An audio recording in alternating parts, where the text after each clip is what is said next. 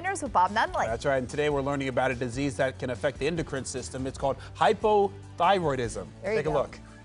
We're back at the Franklin County Dog Shelter and Adoption Center with Dr. Melanie DeHaan from SOS Ohio. This is Pet Pointers. I'm Bob Nunley, and we're going to be talking about, you know, this sounds like people diseases to me that we're talking about here. Yes. With the endocrine system. Yep. Yeah, so this is Nellie. She came into the shelter um, looking like this, obviously.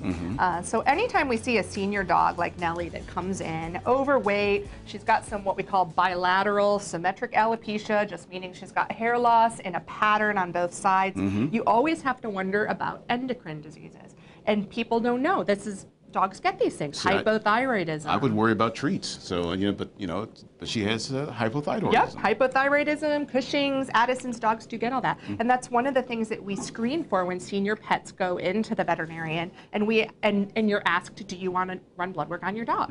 And so if we catch these things early, then we can usually get them and supplement them and treat them and they live a long and happy life. It's very easy to treat hypothyroidism. It's just a pill every other day, or ev- twice a day, sorry.